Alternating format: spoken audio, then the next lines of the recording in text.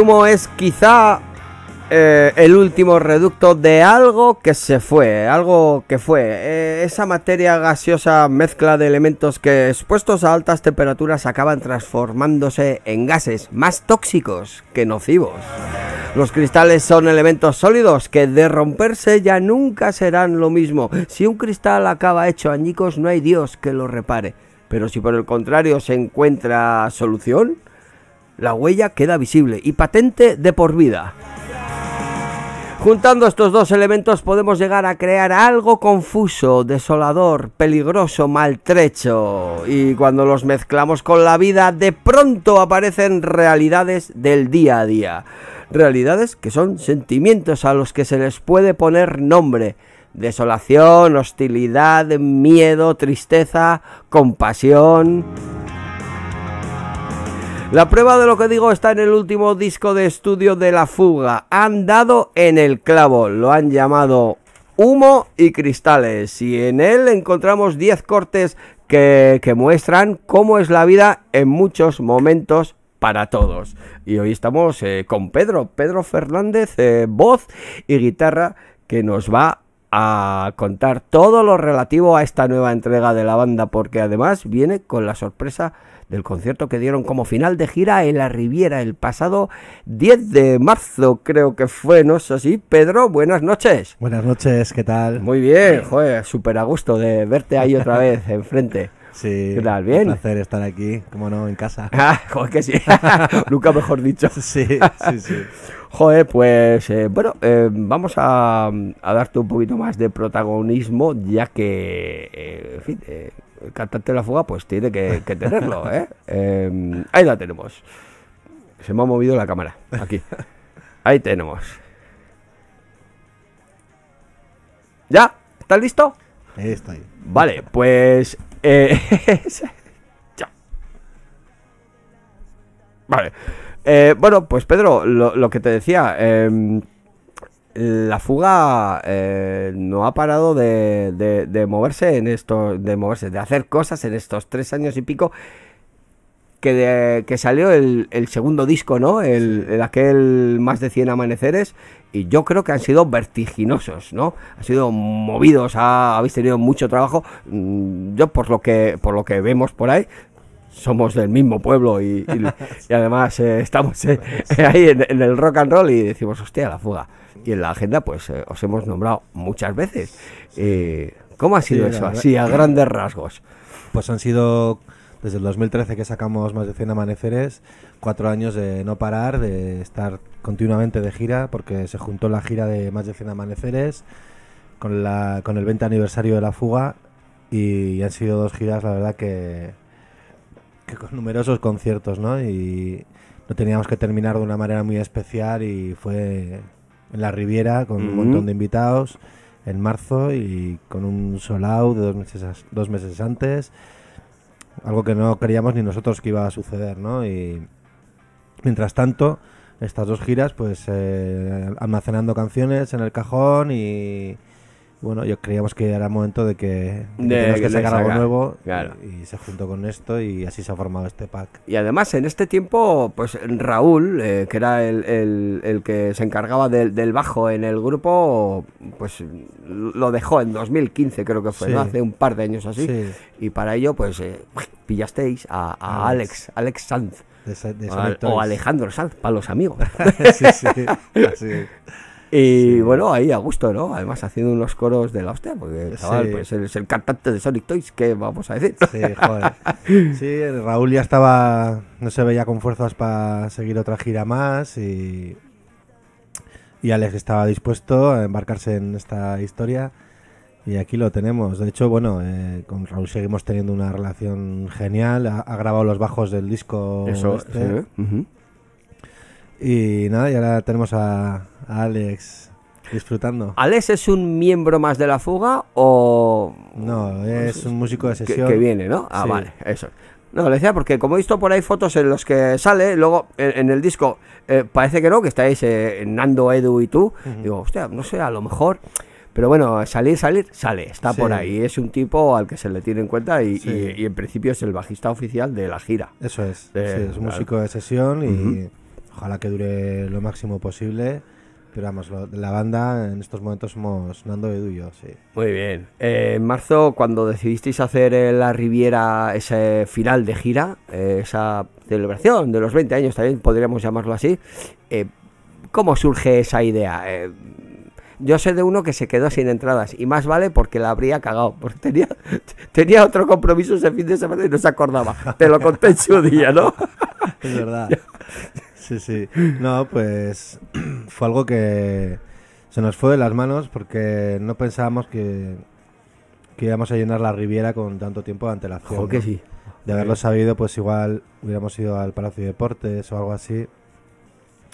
Porque dos meses antes quedarte sin entradas y, con, y fue una demanda brutal porque el- los dos últimos meses cuando ya no había entradas era cuando la gente más nerviosa estaba por entrar. Claro.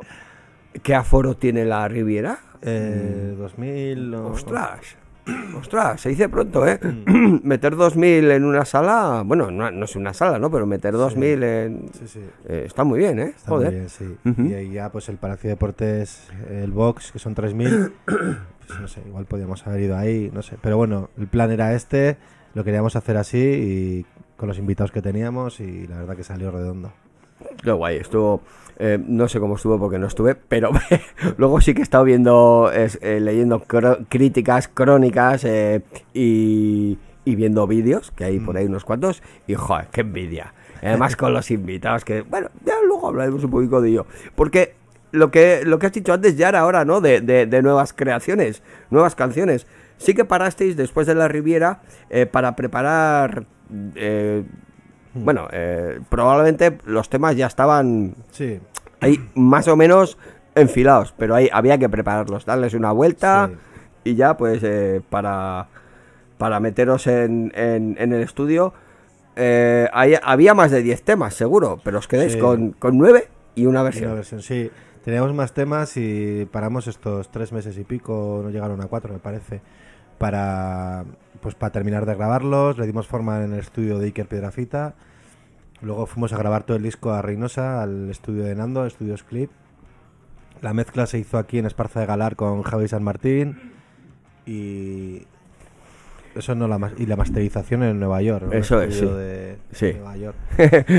yo tampoco me sé, yo sé que es el tipo eh, que Alex Sadurakis. tiene... Es... Hostia, lo iba a mirar ahora. Sí. Lo iba a mirar ahora. Bueno, el. Joder. Es que yo había leído por ahí eso, ¿no? Que eh, la grabación ha sido en los estudios de, de Nando, ¿no? En, en Clip, allí en Reynosa. Eh, pero también había mm, visto por ahí como que aquí en, en el sótano de Iker sí, que sí. también había habido algo. Sin embargo, en el disco no sale. Y he dicho, hostia, a ver si me, si me estoy liando yo. Y ahora que lo has dicho, o sea, también, ¿no? Sí, yo creo que en el disco nos hemos dejado cosas de poner ya. Alguna cosilla. Porque Vale. ha sido, era tanto ya lo que, lo que, lo que había que Ya, meter. sí, es que es- Pero sí, el, el disco en un principio lo empezamos aquí en, en, en- en Artica, en, en el sótano. Pero como ya teníamos el estudio de, de Nando ya operativo y ya todo preparado, y decidimos mejor ir a- un estudio nuestro, ¿no? A Reynosa, que podíamos estar el tiempo que nos diera la gana. y- Sí, claro. por las noches y lo que hiciera falta. Y por comodidad más que nada nos fuimos allá y lo hicimos allí. Y luego, pues el resto, pues eh, como Javi San Martín, que ha sido el productor de La Fuga toda la vida, que es el que hizo la mezcla final. Y ya a Nueva York. La verdad que el, el- Vamos a ver, hace años que se cambia el, el- cantante de la fuga, pues ahí cambia el color, ¿no? Es otra voz, otra historia en ese sentido que, que, bueno, al ser el frontman, pues se nota. Eh, pero lo que es el sonido, el sonido es, o sea, es auténtico, de es el de siempre, de toda la vida, sigue siéndolo. Eso es lo que nunca. Al final digo yo, "Oh, coño, algo tendrá que ver Edu eh, con su pegada y sobre todo Nando, ¿no? Pues claro. con los sonidos de guitarra son ¡buah! fugueros a tope. Pero bueno, eh, de puta madre, ¿eh? Eh, De puta madre. A mí este, bueno, le he dado, pues le, le he dado unas cuantas vueltas porque me ha gustado mucho. Eh, ahora entraremos a hablar porque me gusta mucho eh, meterme en, el- en los discos y, y- y gestionar un poquito eh, esas letras, de qué van y todo eso. Como has podido ver lo que es la, la introducción, joder, le he visto un concepto claro. Le he visto un concepto claro y bueno, lo he, lo he intentado plasmar ahí. Esto es la Sí, vida mismo, sí, ¿no? sí, en, cualquier sentido. La hora, a la hora de editar el disco, eh, en vez de hacer una edición, bueno, un disco, pues sacamos el disco en digipack, en, en plástico o, o como sea, ¿no? No, no, no, que va, que va. Le des una vueltica de tuerca a la idea y va y sacáis el disco eh, con la grabación también del directo que hicisteis como final de gira en marzo de la Riviera, con el DVD correspondiente, un libreto de 60, no sé, 60 páginas puede tener esto. Sí, no 60, las que tiene. 60, sí. 60. Eh, he dicho 60 porque me sonaba haberlo leído también por ahí, no las he contado. Fíjate que yo leo y cuento muchas cosas, pero no he contado las páginas. Y, y hostia, eh, fotos acojonantes, digo, ostras, qué regalazo. Eh, de puta madre, ¿eh? Eh, te- me imagino que cuando grabáis con Iker allí en la Riviera y tal, pues la idea es, bueno, esto habrá que sacarlo en un futuro y tal, pero disco nuevo y hacerlo así, Ya. Ah, ese es... Sí, creemos que es lo más justo porque eh, quien va a comprar el disco de primeras es quien se merece pues todas las ediciones especiales y todo. Es el que lo compra de primeras, no, Sí. no la persona que compra un disco y al año te sacan el mismo disco con tres extras o con tres no sé Esa cuál. era la siguiente pregunta, digo, porque claro, eh, podías haber hecho, toma el disco, hostia, llega Navidad, vamos a meter ahora en el disco pues una edición especial del otro, y cago en Dios, Claro. tengo esto doble. O sea, Sí. tienes- a veces ocurre, ¿no? Pues con, con otros grupos ha ocurrido pues que tienes el mismo disco dos veces y dices, joder, Sí. hostia, pues ya... ¿no? Pues creemos que lo justo es esto, eh, sacarlo de primeras, eh, la edición especial y quien quiere ir primero a comprarla, pues que se lleve esta, esta edición La buena, especial, claro. hay. Y Bueno, luego ya cuando se agoten, pues saldrá cada uno por separado, el disco por un lado y el DVD por otro. Sí, Esa, esa será, digamos, una segunda parte Sí, de esta, ¿no? Sí, Ah. sí. Cuando se agoten estas, eh, ya sale muy cristales por un lado y mientras brille la luna por otro. Son 2.000 copias Sí. eh, numeradas. Tenemos aquí el numérico detrás, edición limitada. Y, o sea, edición limitada quiere decir que ya no vais a sacar más cajas de estas. No, no. Cuando el que quiera estas- esto lo tendrá que comprar por separado. Sí, eso es. Bueno, Sí, muy bien. estas vienen además si hay packs que los puedes pedir por internet con camisetas, sudadera, tal. Ya, bueno. ya no me lo sé. Joder, pues la verdad que se ha quedado súper chulo. Y bueno, en fin, la luna siempre ahí sacando los dientes. Bueno. el, el directo de la Riviera, como, como os digo, pues hay una selección de la fuga de sus 20 años de rock and roll. Hay también un elenco de colaboradores. Juan Car de Boicot, Adrià de la Pegatina, Cuchi de Marea, eh, El Boni, Aurora Beltrán, Cifu de Celtas Cortos, Fernando de Reincidentes y Carlos Tarque eh, de M-Clan. Pero la sorpresa es la de José de los Calis. Sí. Que bueno, ¿eh? Que se canta Sí. el heroína. Heroína. que no podía ser de otra manera. Que hay mucha gente que se piensa que nos vamos por ahí de gira y se piensa que la canción de heroína es de la fuga. Y, Hostia. Sí, sí. Y, joder, pues eh, tener a quien la escribió eh, con nosotros esa noche, cantando y con la vida que ha tenido y, y lo dispuesto que estaba, y fue todo como muy, muy emocionante, ¿no? Entre los nervios, la tensión que había días antes y tal. Pues la verdad que hubo momentos de tener que aguantarse para no emocionarse. sí, sí. Ostras, sí, sí, sí. Eh, buah. bueno, eh, si te parece, vamos a entrar de lleno en el disco, en el disco nuevo, o sea, en, la, en la parte de este pack eh, que engloba el, el humo y cristales. Eh, humo y cristales, que como he dicho, se compone de 10 temas, son 9, nuevos de, de- de la- escritos pues, por la fuga, y el décimo, una versión.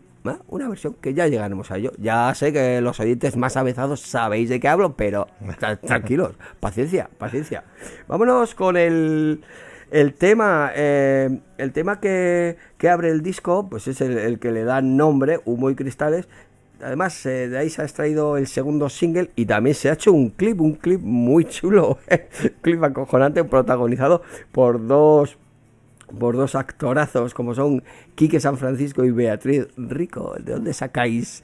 Eh, ¿Cómo los conseguís engañar? No sé, cuéntame algo de Pues esto. eh, teníamos un amigo en común con Quique San Francisco y ya para otros videoclips lo habíamos dicho, pero nunca por agendas nunca habíamos podido coincidir.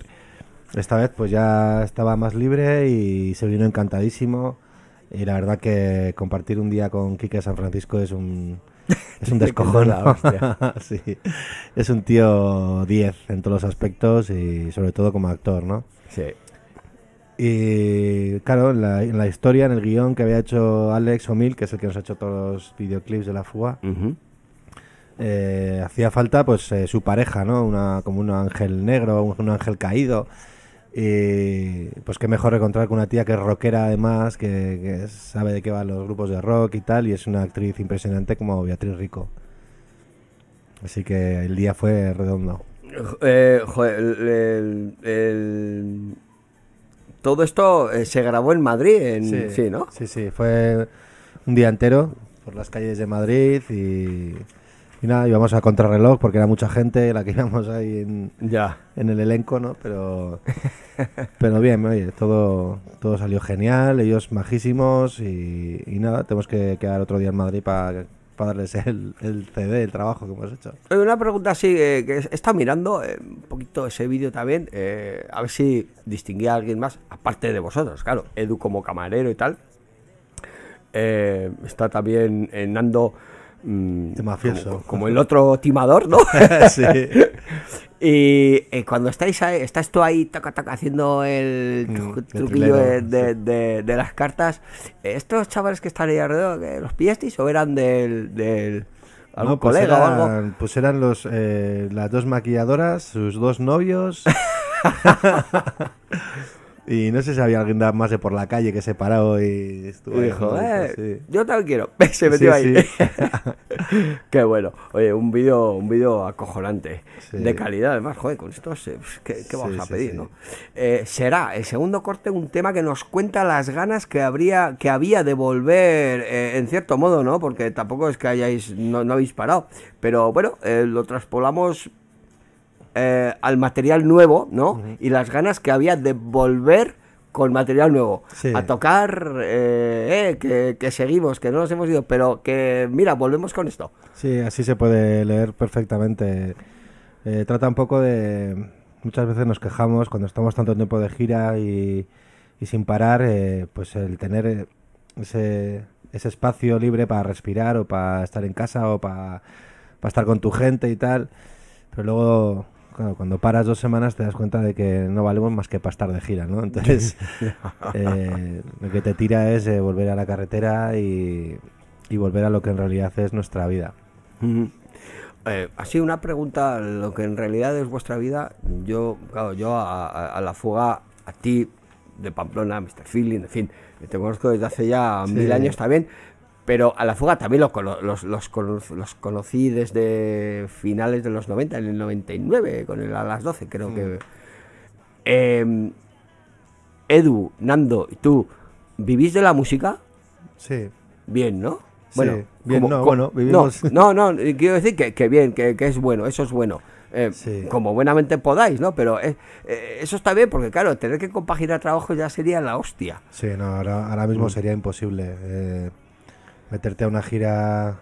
Ahora est- estamos de gira hasta marzo aquí en España, en abril nos vamos a Latinoamérica. Sí. eh, no, es, no es compatible No, con, o sea, ya, pues no es compatible con nada. Eh, Pues Pedro, yo me alegro muchísimo, pero eso, hostia, eso, eso es un sacrificio que, y iba a decir un sufrimiento. Al final eh, tiene de todo un poco, ¿no? Pero la gente se cree que esto es jauja, es el rock and roll, todo el día Sí. pedo por ahí, eh, juergas, no sé. sí, no, luego está no, la cara. B que es muy diferente a, Eh, a la real. eh, mucho- Yo siempre digo que el que está ahí eh, no puede estar todo el día pedo, porque ahí no, ahí no, ahí no aguantas. Claro, así. sí, O sea, sí.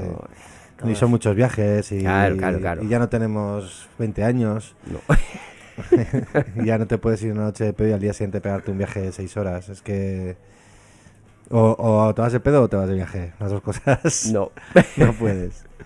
El tercer tema, Banderas, que fue el single adelanto, que es lo que hemos puesto al, al principio, antes de empezar la entrevista, eh, salió en octubre, del cual también se hizo oh, el clip, pero ese fue aquí en las calles de Pamplona, ¿no? Sí, sí, sí. Eh, Banderas se grabó San Fermín chiquito además. Ah, Y, pero fue un vídeo que, que la parte interpretativa y la parte guay de los videoclips la quisimos dejar a un lado también. Aparte había mucha prisa por entregar videoclip.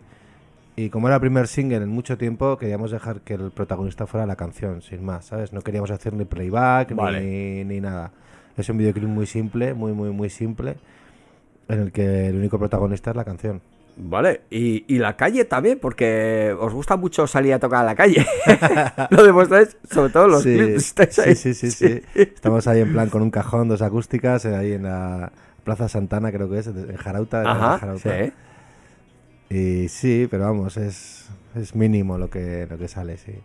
Las letras de, de este disco son todas bastante eh, i- intimistas, pero que reflejan detalles concretos, ¿no? Eh, por ejemplo, esta a mí me, me habla de- del retorno a un origen, pero por causas que tienen que ver con, con un fracaso por, por la búsqueda. No sé si me, Sí. me- me he explicado bien, o sea, tú Sí. te piras de algo porque necesitas otra historia y en tu búsqueda te das cuenta del fracaso y dices, hostia, eh, hay, hay una frase clarificadora en, en la canción que dice, que lo dice, no, no recuerdo cuál es la frase ahora, pero lo dice claramente. Eh, eh, el mejor de mis errores. Quizás, quizás el mejor de los errores es volver a desgastar la almohada. eso, eso. Sí, pues es una canción escrita con dolor en, en el tren, camino Madrid-Pamplona. Mm. Sí, y nada, pues intentar eh, convencer a alguien de lo que de lo que viene después es, es de verdad.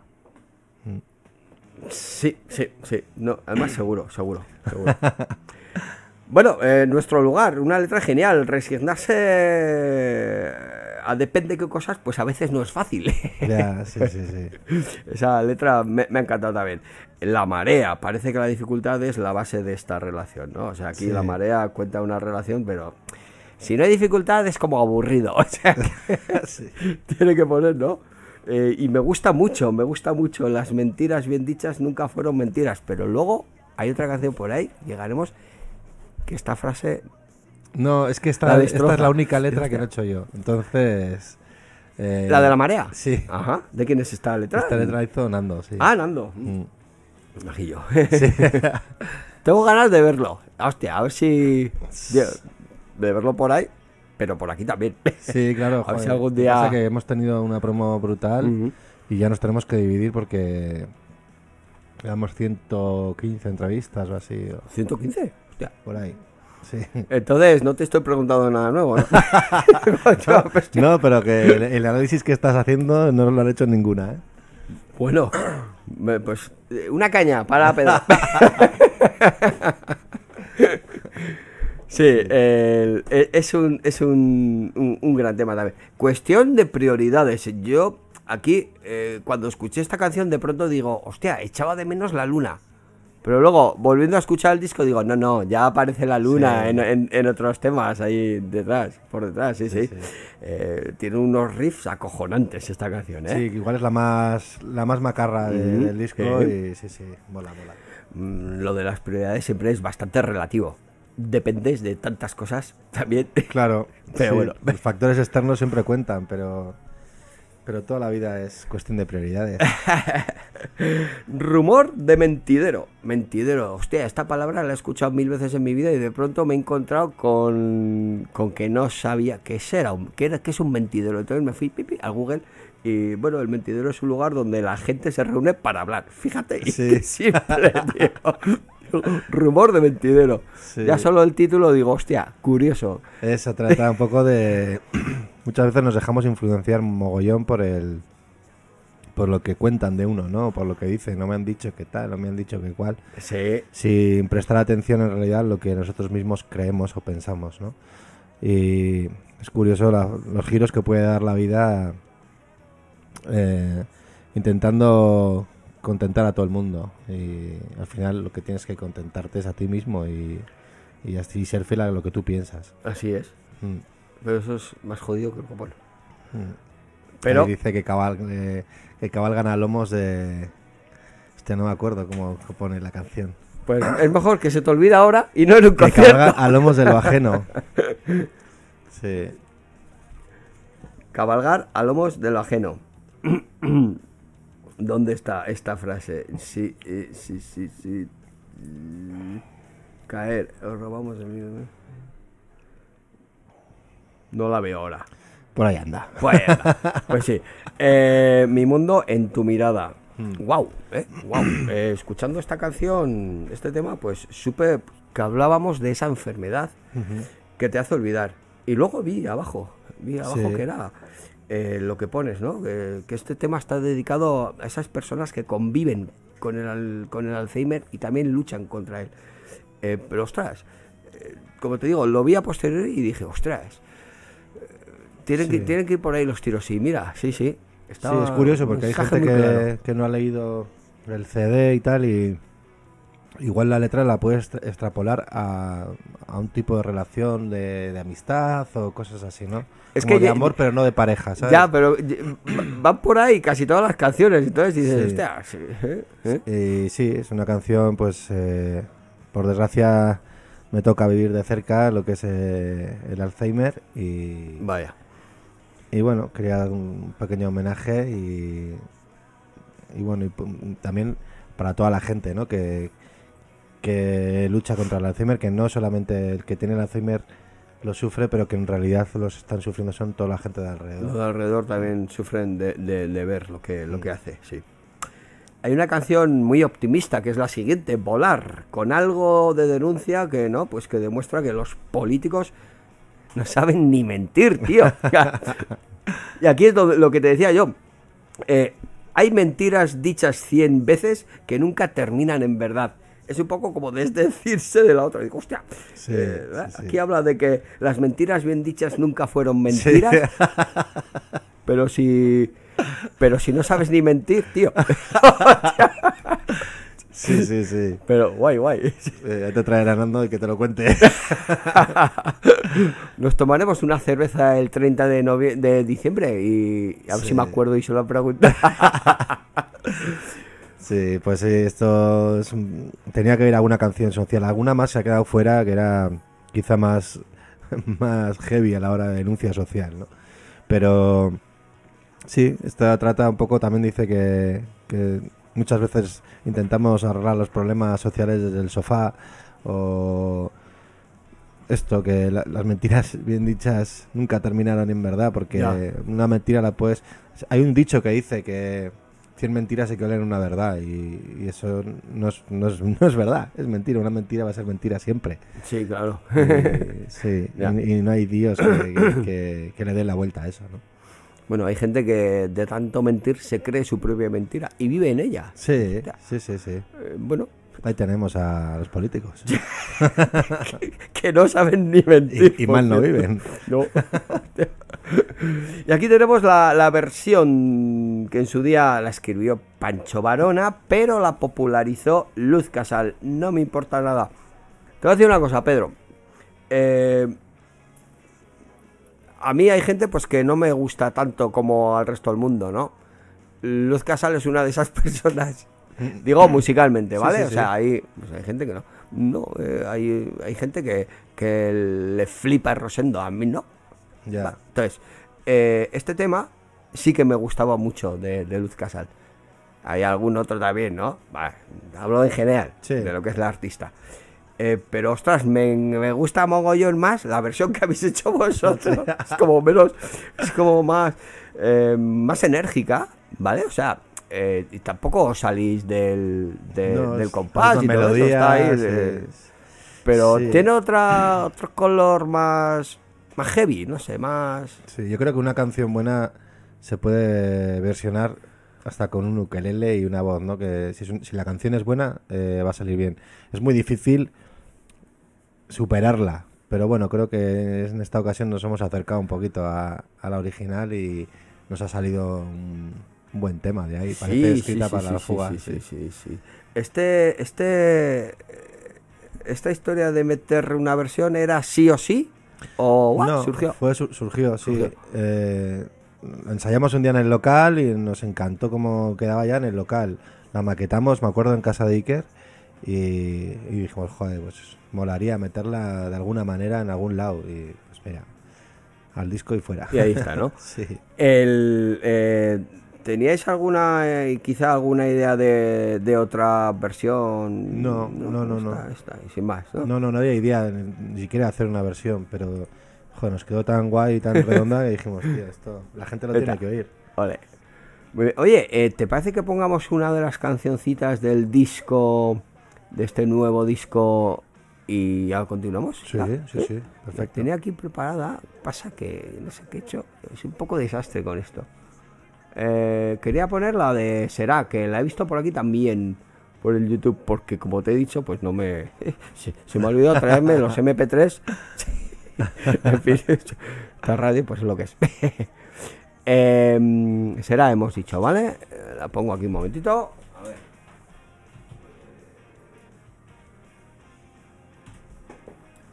Vale, ahí tenemos. eh, este es el corte número 3, número 2 del disco, pues que habla de las ganas que tenían ellos y que teníamos todos después de que eh, también de que hubiera pues un poquito de material nuevo también, ¿eh? Ya tocaba. Mm. Joder, Va, sí, escu- sí. Escuchamos esto, va, venga. Ahí. Ahí, ya.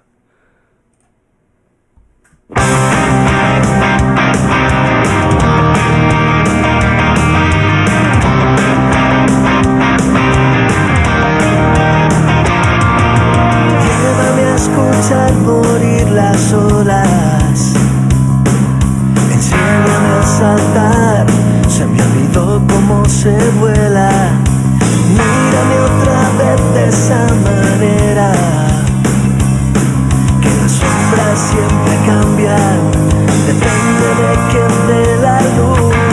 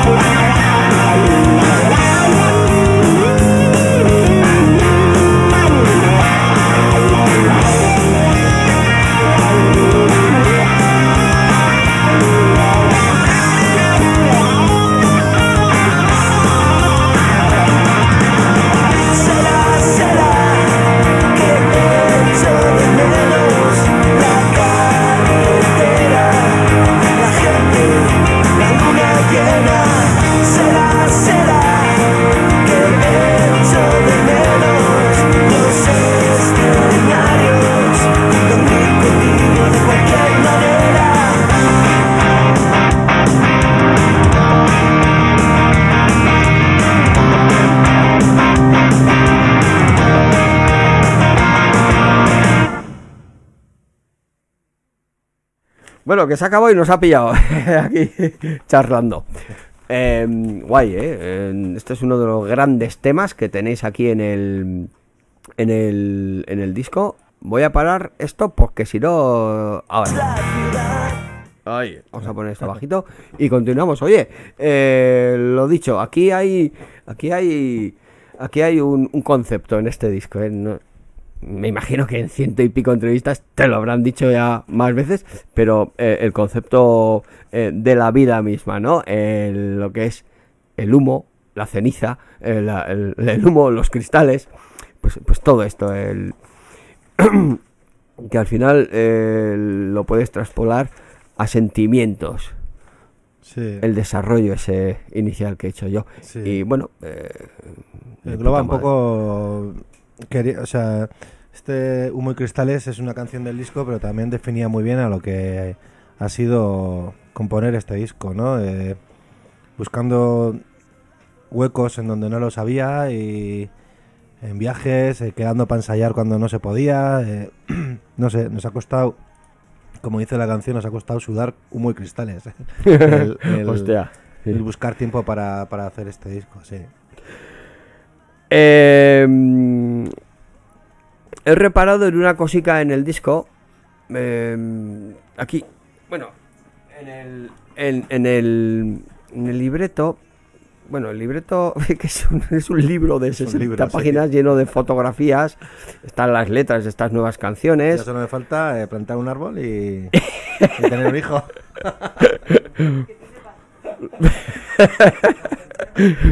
Bueno, pues eh, la primera parte de este gran libreto, eh, al final, ¿no? Pues eh, donde pone el, quién ha grabado, etcétera, y todas estas cosas, al final hay una frase que pone en memoria de una luz que nunca se apaga, Oliver. A mí me suena Oliver de, de, de algo de la- relacionado con la fuga, me suena, pero al final tengo el disco duro tan petado que no... Sí, Oliver era, joder, pues uno de mis mejores amigos y de aquí de Berriozar. Vale, no es de la fuga, vale. Sí, bueno, iba, iba a entrar de bajista de la fuga. Ajá. Cuando se fue Raúl, eh, iba a entrar Ra- eh, Oliver esa, y esa misma semana murió. Ah, vale. Buah. Sí, sí. Vale, vale. Y Oliver ha estado tocando conmigo toda la vida por aquí, acústicos, por todos los bares de, de Navarra, sí, sí. Hablamos de ello, de él también, en algún otro programa. Vale, Sí. pues de todo eso me suena. Lo estaba intentando relacionar pues con, con, con el pasado de la fuga en algún momento. Y lo estuve por ahí buscando en internet y no encontré absolutamente nada. Efectivamente, porque no tiene nada que ver. Pues ya está aclarado. Sí, sí. Eh, bueno, pues nada, el- llegamos al momento más importante, ¿no? De, de un músico cuando ya presenta el disco, lo conoce todo Dios. Ahora habrá que defenderlo. La Sí. gira ya ha empezado. Sí, ¿Habéis hecho un par de fechas? eh, ¿Tres? tres. Tres, ¿no? Tres, eh, Valen- eh, Tarragona, Valencia y Madrid, que eran los matinales del país, que era un concierto a mediodía este sábado pasado y fue lleno, eh, entradas agotadas. eh, ¿Matinales? ¿Qué sí, son, por las mañanas? A la, una al mediodía. Joder, el bermutico.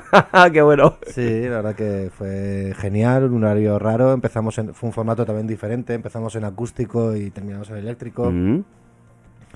Y la verdad que es una experiencia para repetir, eso de tocar a la una del mediodía. Joder, eh, también os he visto tocar en un programa de fútbol. Ah, sí. En-. Sí, ¿cómo se llama? El carrusel deportivo. Sí, el carrusel, eso es. Este domingo estuvimos, sí. Joder, ya. Bueno, de tocar en un programa de fútbol ya no sé lo que. no El que planeta me ruido. Aquí ya ha tocado. Aquí tocaste, sí, sí, Sí, sí, sí, la otra vez ya, aquí Sí, una cancioncita ya. Bueno, es una pena que tengan las guitarras Sí, allí. en- están todas de gira y. Claro, claro. Pero bueno, es igual, siempre hay que dejar algo pendiente, ¿no? Claro, no vas a verlo todo. Eh. He visto por ahí que tenéis al menos ya 11 fechas confirmadas, sin contar las que no se pueden anunciar, claro, las que están ahí latentes y tal. La gira anterior, bueno, como la juntasteis con la otra, pero más o menos, eh, ¿cuántos bolos venís haciendo eh, en una temporada? Que no sé cuándo empieza, cuándo acaba, pero más o menos en Pues las suele temporadas. ser. Eh, la primera fueron 120. Joder. eh, la segunda dar más de 100. De ahí, la- de ahí lo de más de 100 amaneceres. Eh, pues, esta última también yo creo que si no lo hemos pasado los 100 también por ella habrán, han andado. Y esta yo creo que va a ser también por el estilo, porque Por es ahí, ¿no? que hay meses que tocamos ocho fechas, o sea que... Joder. Y, te- y tiramos dos años o tres y... pues sí, Esta vez, además, vais a cruzar el charco. sí O sea en abril ya nos vamos para allí. Vais. Tenéis ahí mucha... Bueno, Sí. yo, yo, yo sé que La Fuga es un grupo que en Sudamérica hay, en, hay algunos países que... ¡buah! Sí, Argentina se ha ido mucho y, y el- en el 2014 creo que fue, eh, fuimos por primera vez a Colombia y la respuesta fue brutal en Colombia, en Bogotá Ajá. y en Medellín.